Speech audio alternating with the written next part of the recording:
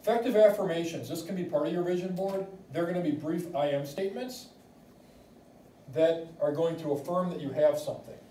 The difference between an affirmation and a goal is that an affirmation is always in the present tense, where a goal is gonna be something that you're gonna do and you're gonna strive for in the future.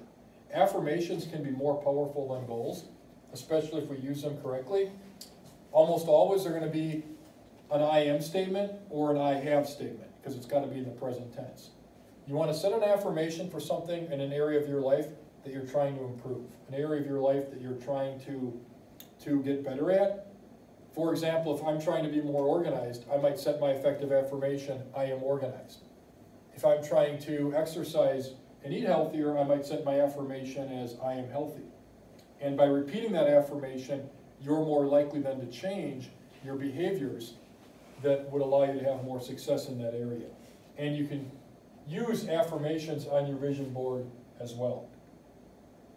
When you create your vision board, of course, the first step is to think. Think, think, think. Think about what your effective affirmations might